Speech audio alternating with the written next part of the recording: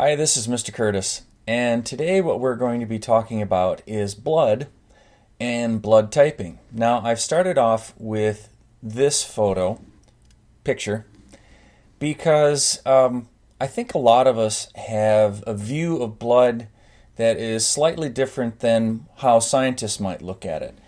We tend to look at blood as this horrible, nasty stuff that, oh my gosh, we don't want to see it and it's gross and it's disgusting. And you know anytime that uh, we come across blood we tend to you know think oh my gosh this is wrong or this is not right.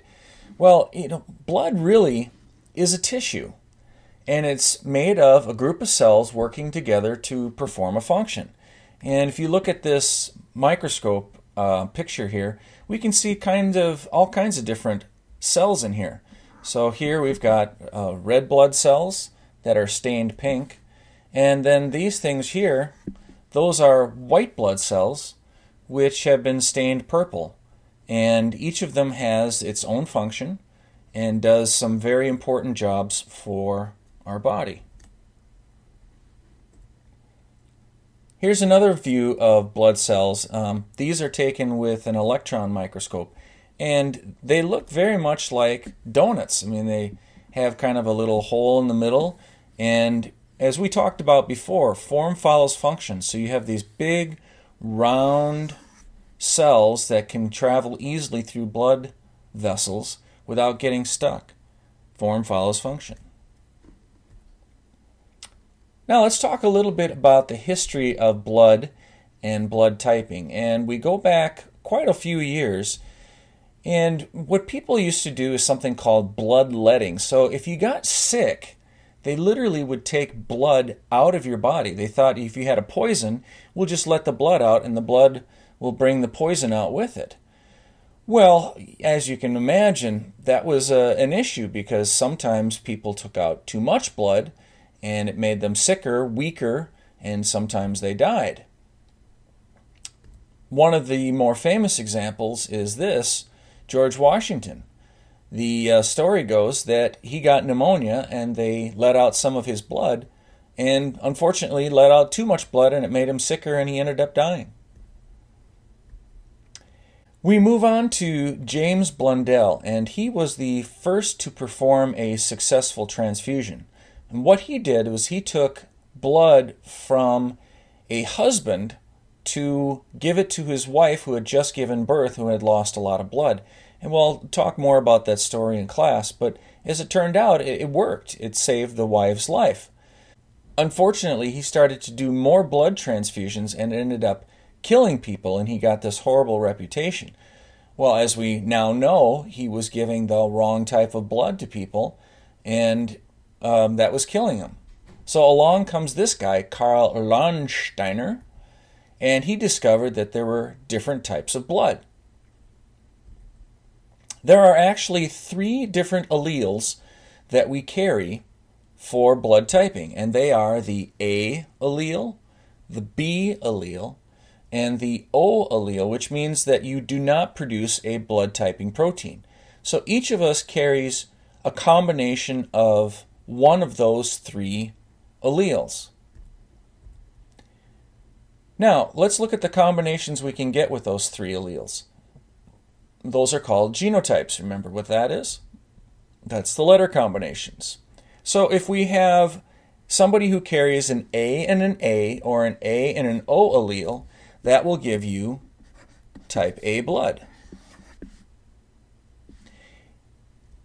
If you have a B and a B or a B and an O allele, that will give you B blood.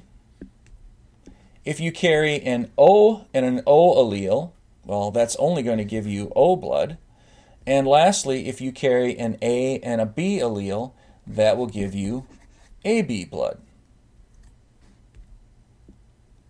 Now, what I have here is a breakdown of different blood types found in different groups of people. So, for example, this first line here, we have the population of white Americans. 41% of white people have A blood, 45% have O blood, and so on. Now, as you go down through this list, you can see there's quite a variation of things. Does this mean that one blood type is better than another? No. And we'll talk about um, later on why this information could be valuable. In fact, that could be something to write down in your summary or in your briefs. Why do you think, or how do you think, this kind of information could be valuable to somebody in a hospital, for example? We've heard of transfusions before, and that is to give somebody's blood to somebody else. However, uh, transfusions can be sometimes given when the blood types are not the same. So if somebody has A blood, we really would like to give them A blood as well. However, you don't always have to do it. And the rule of thumb is this as long as you don't give the recipient, the person getting the blood, a new protein, the transfusion can be done. So let's take these examples. If we have the donor, somebody giving the blood is A, and the person getting the blood is AB, are we is this person going to be okay? Well, let's let's look at this. You've got A protein here, you've got B protein here, and you've got A protein here as well. Are you giving the recipient, the person getting the blood, something new? No. So this person will be okay. What about if the donor was B and again the recipient was AB? Are we giving them anything new? No, they'll be fine as well because we're not giving a new protein. Now, what if the person giving the blood had O and the person getting the blood had AB? Would this be okay? Well, in this case, the answer is still yeah, they'll be fine. Why? Because remember, O means no blood typing protein.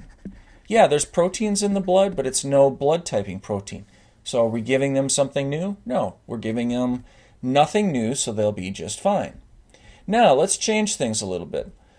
I am type O blood, and what if somebody were to give me A? Well, now we're giving them, me, something that I don't have, and unfortunately, that's not going to help me very much. That would kill me.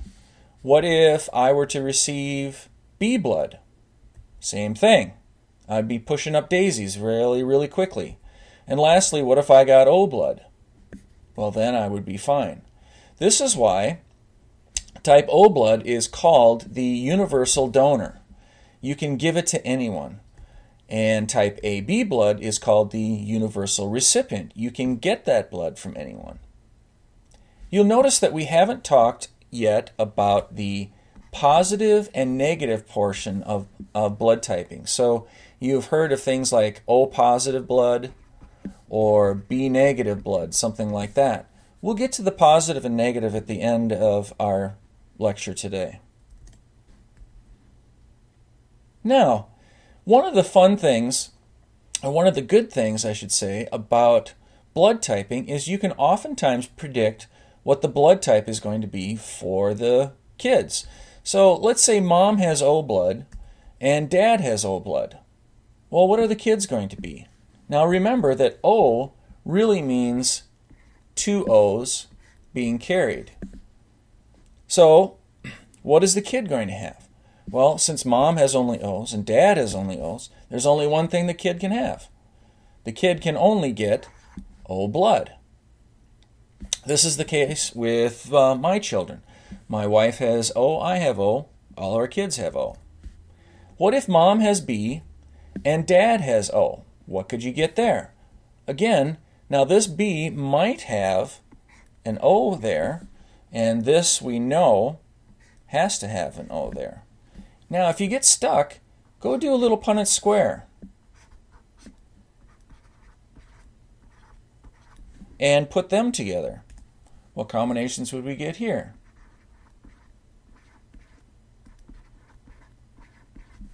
So that tells us what the blood types will be. We know that if you have mom is B and dad is O, we could have kids that are B blood, and we could have kids that are O blood. What if mom is AB and dad is AB? What combinations could you get? Again, do a little Punnett square if you want. Well, let's see. We could get an A and an A, which would be A blood. we could get an A and a B, that would be AB blood. We could get two B's, BB, that would be B blood. Could we get O blood? No, we cannot. Anytime one parent is AB, you cannot have an O kid. What if mom is A and dad is B? Again, let's pretend that mom is carrying an O and dad is carrying an O. And let's do a little Punnett square up here since we're running out of room. Well, we could get what combinations? We could have an A and a B. That would be AB blood. We could have a B and an O, which would be B blood. We could have an A and an O. That's A blood. And we could have two O's. Well, that's O blood. So if mom is A and dad is B, the kids could end up and have all four of the blood types. What if mom is AB and dad is O? Well, now let's do this one in our head and see if we don't have to use a Punnett square. Could we get an AB? No, because we have to have an A and a B. Dad here, he's only giving O's to his kids, so we could not have an AB. So we could have an AO, which is A blood. We could have a B and an O, that's B blood. Could we get O blood for the kids? No. So this is an interesting case because mom and dad end up and have blood types completely different from the kids, even though it's still inherited.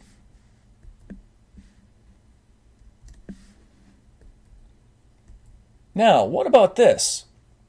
What if mom is A and dad is O, and the kid ended up having B blood? This happened to me in a blood test my first year in California. This very thing. And we're going to talk about this one in class, and I want to see if you can come up with a reason why this happened. So, one of the things I want you to do in your notes today, write down how this could have happened. Now, I want to spend a little bit of time, even though we've finished up the regular part, this is a little addition and extension activity. Um, you won't see this on any of our regular tests and quizzes, but uh, I wanted to talk to you about the other part of our um, blood typing, and that is the Rh factor, which is named for a rhesus monkey. I think I'm spelling it correctly. But that's the positive and negative part of our blood typing. Now, after the four blood types came out, the A, B, O, and ABs, then they found that there was another protein in our blood that we needed to be taking account of because if you had A blood, there still were some times where people were getting sick if you gave them A blood and another kind of A blood, and that's the positive and negative. If we look at the genotypes here for um, positive and negative, if you have positive as your blood type, that means you are either carrying a plus and a plus or a plus and a minus. If you are negative, the only thing you can be carrying is a minus and a minus. So the plus can either be purebred or it can be hybrid. And the negative is recessive. Let's look at a couple examples here of what we can do. I am O negative. That's the blood type that I have, which means I have the genotype of O and O, but then I also have negative negative. Those are the alleles that I carry. My wife, she is O positive, which means she's O and O. She, we don't know what her um, genotype is for the plus minus. She could have plus plus or she could have plus minus. Now we do know that one of my kids is also O neg. One of my kids is O neg. That should tell you what my wife's uh, genotype is. There's only one thing she can be. If my kid is also 0, 0, and then negative, negative, there's only one genotype that they can have. Let's see if you can figure that one out. Okay, so this wraps up our talk today about blood types. Make sure that you add something to the summary, and also I've given you lots of opportunities to add things to the briefs. And we will see you next time.